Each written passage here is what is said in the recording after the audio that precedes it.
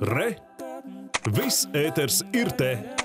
Apkuras un elektrības dārdzība arī turpmāk būs problēma, un tā skars ne tikai trūcīgos un maznodrošinātos, tā atzīst pašvaldības savienībā. Un tur gan pauž, ka citviet Latvijā nav tāda satraukuma kā Daugaupilī, kur prognozējot gandrīz trīskārt lielākas siltuma izmaksas, nācās izsludināt vietējas nozīmes enerģētisko krīzi.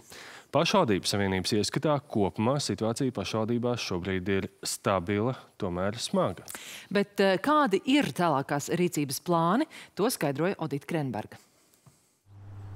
Palīdzot sekt mājokļu izmaksas atbilstoši likumiem, pašvaldības un valsts šobrīd var atbalstīt ap 6% mājsaimniecību, bet pašvaldības vērtē, ka jau pagājušā gadā problēmas norēķināties par apkuri bija 20% un siltumapgādes cenām kāpjot, turpmāk grūtības samaksāt rēķinus varētu būt pat līdz 40% mājsaimniecību. Pati galvenā nepatikšana ir tāda, ka pašlaik izskatās, ka siltumapgādes resursi gan gāzes ziņā, visvairāk gāzes ziņā, nedod tādu labvēlīgu prognozu tuvākajam laikam. Mēs esam norūpējušies par to, ka, ja mēs arī šo apkuras sezonu pavadīsim, nu, es ceru, ka normāli, pašlaik signāli par nākamo apkuras sezonu nav labi.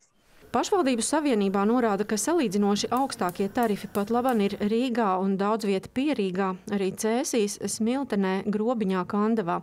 Ieguvēji vismaz pagaidām ir tie, kas kurina ar šķeldu, malku un granulām un kam ir garāki līguma termiņi, piemēram par gāzes piegādi. Tā ir Dobelē, kur šogad nekāpj neviens apkurs tarifs, bet arī tur atzīst elektrības cenu celšanās tik un tā skars visus. Protams, būtu valsts jautājums, kādā veidā varētu meklēt risinājumus, lai šos elektroenerģijas cenu sadārdzinātu, kaut kā kompensētu iedzīvotājiem.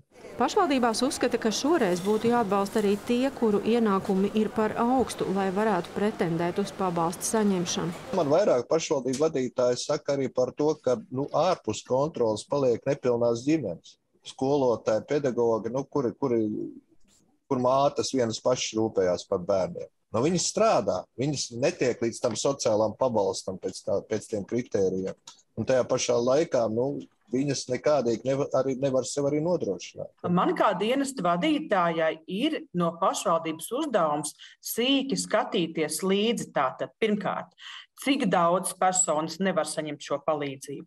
Varbūt iespējams konkrētas mēķa grupas, nu, kas neiekrīt šī palīdzības groziņā. Jā? Tieši tas, ko jūs teicāt, ja mēs pētīsim, vai tie ir, nezinu, varbūt pēc pazīmes A ienākums, B daudz bērnu vientuļie pensionāri, personas ar invaliditāti. Pašvaldībās spriež arī, ka atbalsts būs vajadzīgs ne tikai daudz dzīvokļu ēku iemītniekiem, bet arī privāti mājās dzīvojošiem. Šī gadījumā, ja tā būs kaut kāds atbalsts dzīvokļiem, tad, manuprāt, diezgan negodīgi negodīgi būtu pret eh, individuālo māju iemītniekiem, kas ir tieši tādi pašnodokļu maksātāji. Un, mēs zinām, ka viņiem reāli trīskāršojas gandrīz. Man personīgi arī gāzes apkūra, tāpēc tā droši var pateikt, ka man rēķins divi ar pusreiz lielāks nekā bija iepriekš. Un, ja mēs izšķiramies par atbalstu, tad notiek komplekss. Pašvaldībās raizēs arī par saimnieciskās dzīves panīkumu, kas būs, ja teju vai visi iedzīvotāji ienākumi aizies par apkuri un elektrību. Kā tas ietekmēs ekonomiku? Tā lieta, kas visvairāk ietekmē cilvēku, ka šādā veidā maksājot gan par siltumapgādi, gan par elektrību, mēs neveicinām iekšējo patēriņu. Un ja mēs to nedarām, tad iekšējā patēriņa apstāšanās draud ar tādu vispārēju stagnāciju, ar tādu ritīgu, dziļu, smagu uh, ekonomisku krīzi, ne jau vairs enerģētisku. Kamēr vēl nav konkrētu risinājumu, pašvaldībās prognozē, lai palīdzētu iedzīvotājiem sekt energoresursu cenas, nāksies atteikties no citām līdz šīm finansētām lietām. Odita Krenberga, Ivo Žepīckis, Latvijas televīzija.